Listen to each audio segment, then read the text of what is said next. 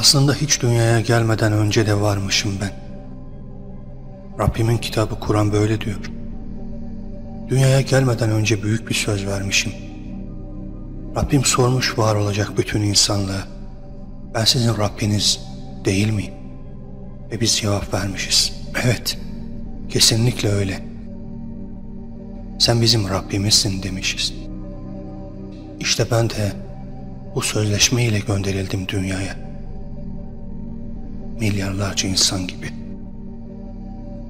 İşte bu sözüme sadık kalmaya karar verdiğim günden sonra başladı bütün değişimler.''